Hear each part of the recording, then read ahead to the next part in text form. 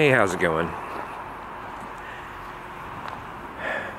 Well, my last few videos have been sort of getting some things out of my system that I haven't been able to get out of my system for the previous five months. So,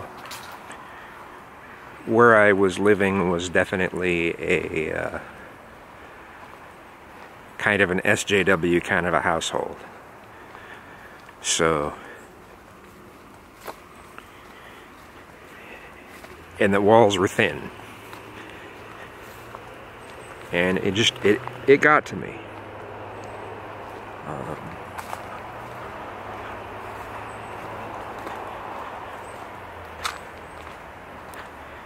it really got to me. It shouldn't have, but it did. Anyway, um, but I, I'm I'm still liberal. I'm a liberal, independent. I'm not really on anyone's particular any ideology's side. But I do I do try to get what both sides are trying to say. I don't always get it right, of course, but it's been nice being able to get that stuff out. So I still understand, you know, white privilege. I understand so much of the things that, uh, well, I don't personally understand, but I, I can conceptualize some of the crap that a lot of minorities go through, you know. And I think we should consider those things.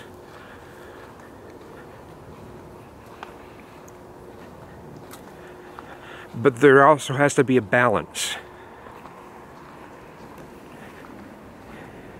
I may be on the left, I may be a liberal, but I think there needs to be a balance. We need we need both the right and the left.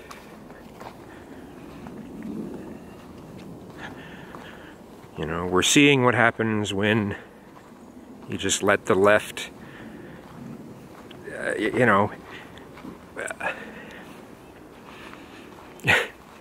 we're, we're seeing what happens when you don't regulate the left.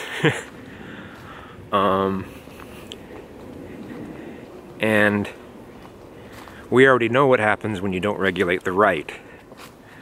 So don't expect my channel to just be something where I'm I'm now just saying negative things about the left because that's that's just not who I am. Um, but I have needed to get a number of stuff out of my system since I'm not living somewhere that I'm kind of expected to be a particular way. I'm supposed to have a particular ideology. Anyway.